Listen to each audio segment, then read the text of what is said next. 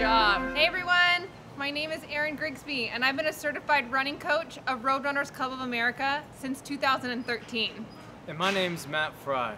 I'm an ambassador for the Houston Marathon and I've been a basketball coach for the last 11 years, but you probably just know me as the guy that runs on the seawall with a stroller. Have you ever been wanting to increase your fitness, Improve your health, feel better, meet new friends. or look in the mirror and smile? I think all of us have.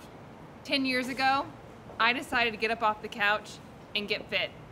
I wanted to feel better about myself, so I put on my running shoes and started walking the block in the local community.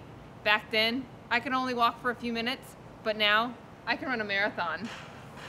And nine years ago, I started running just to stay in shape after college basketball.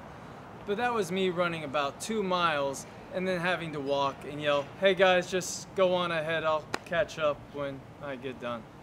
But now I run races of all kinds and triathlons. Regardless of our stories, we have groups and friends that we share our experiences and our journeys with. So starting next month, we are going to get better together. Beginning June 6th, we'd like to invite everyone out to our weekly walking and running group in downtown Galveston.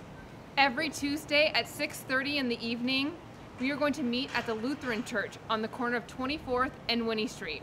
We want everyone to join, no matter if you're fast, if you're slow, if you're young, or if you're old, It doesn't matter if you want to walk a mile, or run three. the activity will be decided by you.